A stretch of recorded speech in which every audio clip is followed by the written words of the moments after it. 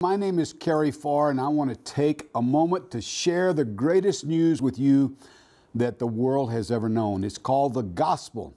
The word gospel means good news. And the good news, before I read this passage of scripture to you in 1 Corinthians 15, verses 1 through 4, simply means that Jesus Christ came to earth, became a human being, lived 33 years, died willingly gave his life on a cross called Calvary, was buried, and then rose again the third day to save sinners, of whom I'm chief.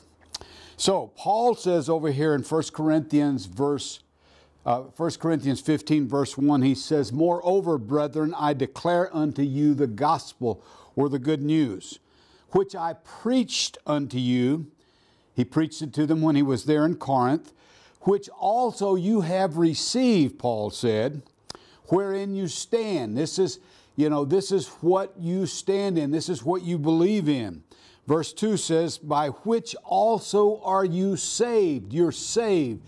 That word saved means delivered, delivered from eternal death or eternal separation from God because of the gospel. He says, Verse 3 For I delivered unto you, first of all, how that Christ died for our sins. Jesus Christ died for your sins, my sins, the sins of the entire world.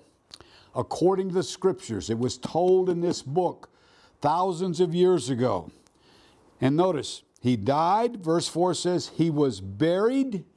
He stayed in the grave three days to prove that he was dead and that he rose again the third day according to the scriptures. Now, this is a historical fact. After Jesus died, was buried, and rose again, he says he was seen of Cephas and then of the twelve. He was seen by all of the disciples, and after that, he was seen of about 500 Christian people, believers in Jesus Christ at one time. Jesus Christ is alive, and the fact that he arose from the dead shows that he has the power to resurrect us from the dead.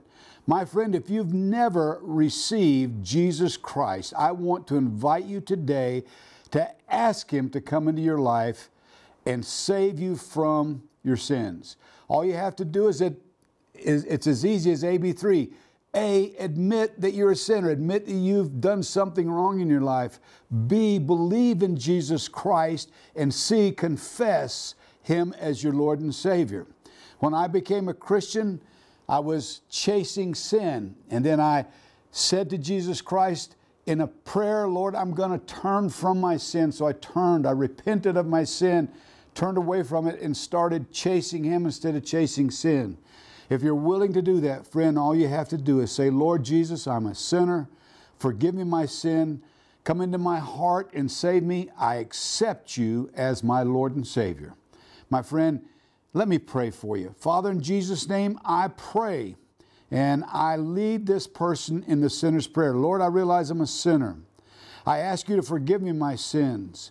I want to turn away from my sins and receive you as my Lord and Savior. In Jesus' name, amen. Friend, if you prayed that prayer and meant it, you are now a part of the family of God. And if you've prayed that prayer and would like more help or more information, I'd like to know about it. My email address is right below this video, kwfar at gmail.com. That's my personal email address. Email me and let me know you've been saved. I'll pray for you and I will respond to you. Thank you, my friend.